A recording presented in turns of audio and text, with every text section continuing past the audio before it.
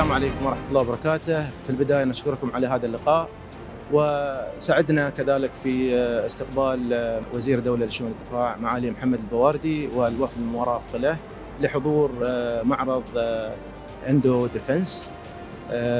هذا المعرض يعتبر منصة رئيسية لعارضي ولصانعي الصناعة العسكرية والدفاعية. وسعدنا كذلك ب يعني زيارة فخامة الرئيس دوكو ويدودو رئيس جمهورية إندونيسيا. العلاقة الإماراتية الإندونيسية تسير في الاتجاه الصحيح وخاصة بعد زيارة سيدي صاحب السمو الشيخ محمد بن زايد آل نهيان في شهر سبعة من سنة 2019 كانت هي علامة فارقة في العلاقات الثنائية بين دولة الإمارات وجمهورية إندونيسيا.